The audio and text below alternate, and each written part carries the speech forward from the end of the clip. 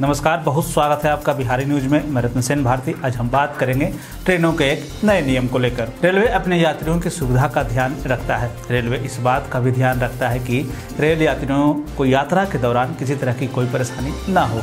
लेकिन जब त्यौहार का समय होता है या फिर गर्मी की छुट्टियाँ चल रही होती है तो ट्रेनों में भीड़ होना आम होता है। ऐसे में लोगों को यात्रा के दौरान थोड़ी परेशानी का सामना करना पड़ता है।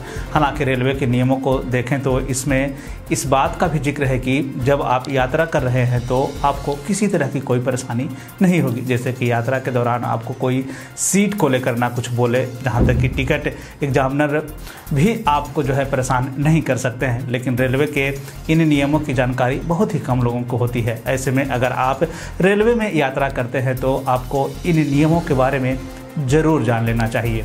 सबसे पहले हम बात करते हैं मिडिल बर्थ पर, सोने को लेकर। तो सबसे पहले बात करेंगे मिडिल बर्थ पर, सोने के नियम के बारे में। रेल में यात्रा के दौरान हम सभी लोगों ने यह देखा होगा कि मिडिल बर्थ को लेकर यात्रियों की थोड़ी परेशानी होती है। बता दें कि ट्रेन में यात्रा के दौरान लोअर बर्थ वाले यात्री को काफ़ी परेशानी होती है। रेलवे के अगर हम नियम को देखें तो मिडिल बर्थ पर यात्रा करने वाले यात्री को रात के 10 बजे से सुबह के 6 बजे तक ही वे इस बर्थ पर सो सकते हैं। साथ ही साथ यह भी कहा जा रहा है कि रात में 10 बजे से पहले अगर मिडिल बर्थ को खोलते हैं तो इसमें लोअर बर्थ वाले आपत्ति दर्ज कर सकते हैं। तो ऐसे में जो नियम है मिडिल बर्थ को लेकर, उसमें यह कहा गया है कि रात में 10 बजे के बाद और सुबह 6 बजे तक आप जो है अपना बर्थ खोल दें या फिर लगा दें।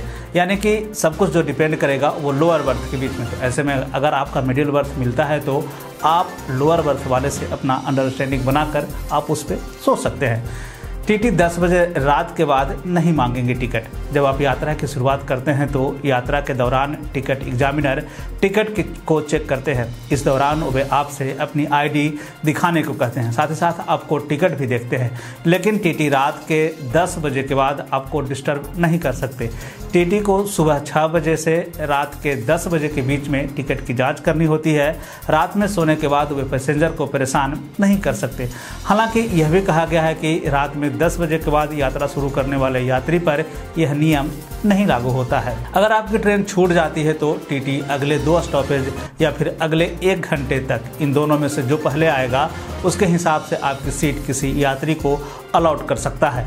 इसका मतलब यह हुआ कि रेलवे यह मानता है कि आप अगले एक या फिर दो स्टॉपेज तक इस रेल को पकड़ सकते हैं या फिर बोगी में कहीं हैं तो आप अपनी सीट पे पहुँच सकते हैं। अगर आप दो स्टॉप तक ट्रेन को नहीं पकड़ते हैं या फिर अपनी सीट तक नहीं पहुँचते हैं तो तीसरे स्टॉप के बाद टीटी के पास पूरा अधिकार होता है कि वह आर लिस्ट वाले यात्री को जो है वह सीट उपलब्ध करा सकता है। यात्रा के दौरान अगर आप चाहते हैं कि आपकी यात्रा के अंतिम स्थान में बदलाव किया जाए तो रेलवे में इसकी भी सुविधा है।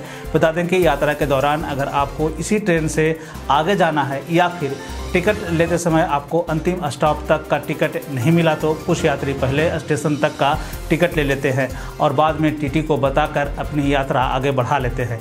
इसके लिए आपको टीटी को अतिरिक्त किराया देना पड़ सकता है। अगर कोच में कोई बर्थ खाली रहा तो आपको टीटी के द्वारा वह सीट मुहैया कराई जा सकती है।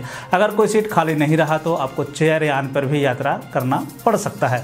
ऐसे में अगर आप आने वाले दिनों में रेल से यात्रा करने की सोच रहे हैं तो इन नियमों को ज़रूर जान लें ताकि यात्रा के दौरान आपको किसी तरह की कोई परेशानी न हो और इसका सुविधाओं का पूरा लाभ उठा सके।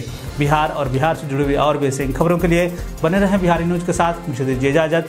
धन्यवाद।